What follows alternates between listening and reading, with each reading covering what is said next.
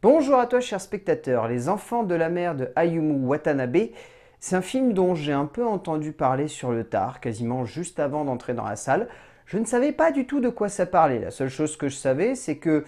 bah, depuis on va dire une petite année, je m'intéresse vraiment à beaucoup de films, on va dire d'animation japonais, euh, qui sortent un petit peu du circuit euh, de la Toho et euh, des studios Ghibli, et c'est notamment quasiment tous ceux qui sont distribués par Eurozoom, et bah, en fait, j'ai vraiment envie de voir ce que ça donne parce que c'est des longs métrages d'animation japonais qui sont, je dirais pas un peu plus matures, mais en tout cas qui offrent une nouvelle vision de ce cinéma-là. Et c'est un petit peu pour ça que ça me pousse à chaque fois quasiment aveuglément à aller voir ces films. Le résumé pour faire simple, Ruka est une jeune fille qui commence mal les vacances d'été, en esquivant sa mère et en se faisant virer de son club de handball. Sa rencontre dans l'aquarium où travaille son père avec le jeune Umi va changer sa vie à un point qu'elle ne soupçonne même pas. C'est un film très particulier. Je peux comprendre qu'il y ait beaucoup de gens qui ressortent très sceptiques de cette œuvre parce que c'est une œuvre qui a un caractère qui est à la fois très poétique, également très simple, mais étonnamment dense et ça fait que c'est pas facile d'accès. C'est un long métrage qui va sonner au début comme un film d'ado extrêmement simple, qui va virer vers un peu de fantastique, qui va amener de la poésie, du métaphysique, quasi de l'écologique, enfin c'est un film qui passe par beaucoup, beaucoup, beaucoup, beaucoup, beaucoup d'éléments dramatiques, tellement en fait que ça peut perdre un petit peu complètement le spectateur. Derrière ça, on a un visuel qui est tout simplement riche, qui a un choix très drastique en termes de mise en scène que j'évoquerai après, qui est assez étonnant, qui arrive à se développer au fur et à mesure et à muer en plein de choses, parce que, mine de rien, c'est un film qui dure tout de même 1h50, et dans cette heure 50, on passe par beaucoup de stades par de l'émerveillement, par de la fascination, par de l'interrogation, par des frissons, par de la tension. On passe par un petit peu tous les stades possibles et imaginables, ce qui est tout de même assez rare dans le cinéma d'animation pour être cité. Et moi, c'est ça en fait qui m'a complètement convaincu et qui m'a fait adorer le film en sortant de la salle, c'est que je me suis dit, c'est un voyage qui a certes été parfois un peu laborieux, qui par moments m'a un peu perdu, m'a un peu déstabilisé, mais qui étonnamment m'a totalement convaincu à la sortie de la salle. Le récit d'une œuvre de cinéma prend parfois une forme que l'on a du mal à imaginer, que ce soit simplement par le biais de son esthétique, de l'œuvre dont elle s'inspire, ou simplement du geste cinématographique qui va découler d'un petit morceau qui pourrait sonner comme étrange, mais qui au fond est simplement poétique. Ayumu Watanabe décide de nous entraîner dans un récit extrêmement actuel, au cœur d'une œuvre qui souhaite avant tout nous emporter dans un torrent d'émotions brutes. Certes, cela ne fonctionne pas toujours, mais l'ambition et l'idée sont là, et franchement, cela donne tout simplement lieu à une belle œuvre de cinéma qui aura certainement du mal à trouver son public, mais si vous gardez l'esprit ouvert, ce long métrage d'animation rare devrait certainement vous questionner et ne pas vous laisser indifférent, cela est sûr. En termes d'écriture, c'est donc Daisuke Igarashi qui adapte son propre comics. C'est c'est très compliqué d'en parler. En gros, le film est constamment en train d'évoluer en termes de scénario. C'est pas le type de scénario qui va se limiter à un ou deux aspects et qui va vaguement jouer dessus. C'est un scénario qui passe par de nombreux stades. Il y a déjà un message écologique qui est amené de manière, on va dire, très franche à l'écran et qui ensuite est disséminé tout du long du film. C'est-à-dire tout simplement le fait qu'on ne connaît pas assez la partie bleue de notre planète et que surtout la partie bleue de notre planète, elle est peuplée de beaucoup plus de personnes que la partie verte de notre planète ou la partie couleur terre, comme vous voulez. Mais en gros, c'est un film qui porte un message qui est de l'ordre du faites bien attention parce que l'inconnu pourrait un jour demander une reconnaissance, ou en tout cas presque même demander une renaissance de la planète Terre. Et c'est un film qui porte en lui un message très très fort par rapport à ça, mais également par rapport tout simplement à l'être humain et à son rapport qu'il entretient avec l'eau. Cette espèce de fascination qu'ont les Japonais en plus par rapport aux différents éléments, parce que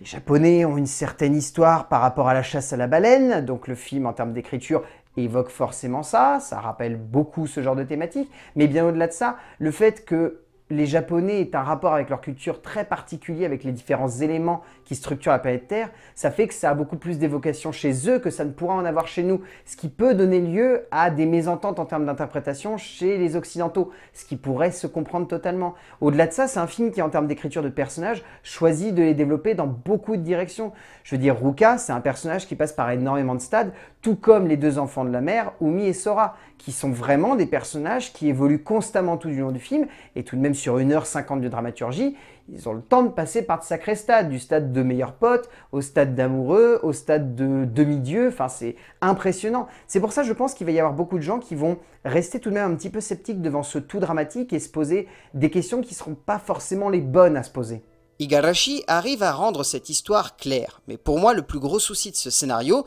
même s'il est entraînant et passionnant, c'est qu'il est extrêmement compliqué et surtout qu'il met beaucoup de temps à devenir clair dans la tête du spectateur, et là ça ne pardonne pas tant le délire est complexe. Certes, la trame narrative est poétique et radicale aussi dans sa démarche, mais passer la surface, il faut se rendre à l'évidence, ce tout est d'une densité et d'une difficulté d'analyse qui donne lieu à une œuvre pas forcément claire dans l'esprit du spectateur, mais réellement dense, ce qui peut à la fois sonner comme un énorme défaut, mais également, comme évoqué avant, donner lieu à une réelle qualité d'écriture et de composition, notamment des personnages.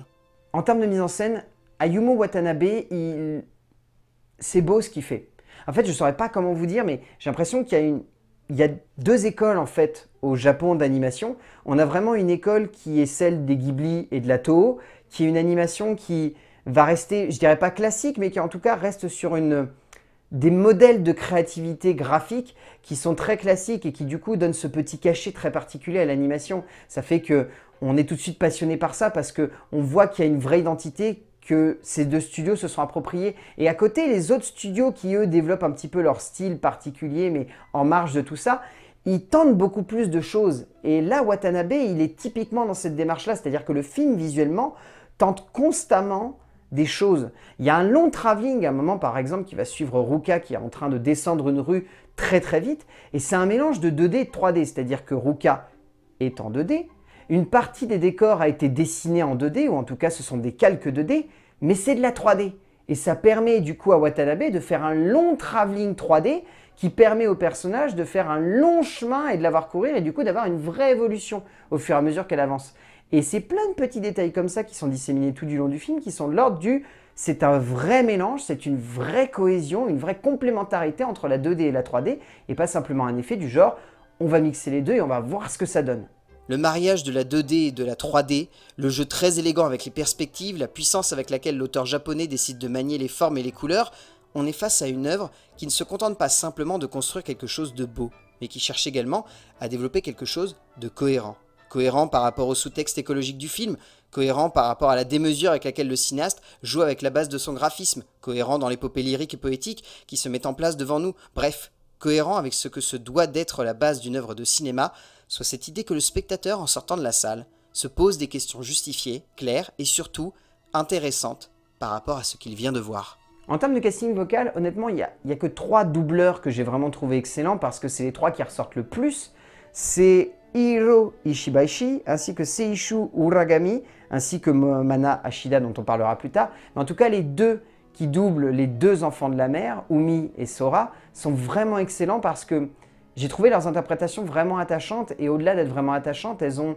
quelque chose de très particulier. Je ne sais pas comment ils font les Japonais, mais dans le travail qu'ils ont du doublage, il y a énormément d'émotions qui passent et il y a notamment une manière de jouer, on va dire, des émotions qui peuvent par moments sonner comme un petit peu caricaturées, chez nous en tout cas, qui, si on est habitué, sonne pas du tout comme ça et du coup arrive à retransmettre encore plus d'émotions au spectateur. Et au-delà de ça, cette jeune doubleuse qui double euh, du coup le personnage de Ruka est vraiment excellente et au-dessus du lot presque. Mana Ashida donne réellement du peps et du caractère à cette jeune fille, parvenant à la rendre attachante et douce, complétée avec brio par les deux acteurs jouant Umi et Sora, qui se donnent aussi à fond pour leur personnage. Au bout du compte, les enfants de la mer... Alors, si vous êtes fan d'animation japonaise, vous allez beaucoup aimer. Par contre, allez-y en sachant pertinemment qu'il est possible qu'il y ait un dernier acte qui vous semble très étrange, très difficile d'accès, pas forcément très simple en plus à interpréter. Ayez ça en tête, passez ça, c'est un film qui visuellement est fantastique, qui propose une vraie lecture à la fois dans l'air du temps, mais également historique par rapport au Japon et par rapport au monde. C'est un film qui a un beau message écologique, que j'ai envie de pousser en avant parce que c'est un message qui est fort et qui est bien amené par le film. Honnêtement, Les Enfants de la mer de Ayumu Watanabe est un film très atypique, très étonnant, que j'ai envie de vous conseiller fortement parce que dans le genre de l'animation japonaise, je crois que ça faisait un petit moment que j'avais pas eu autant la sensation qu'un film expérimentait à l'écran et ne restait pas, on va dire, dans un carcan un peu plus classique qui permettait à d'autres films comme The Silent Voice par exemple d'être parfait, mais là ici on est sur quelque chose de beaucoup plus expérimental et c'est peut-être ça qui fait le cachet du long métrage. A plus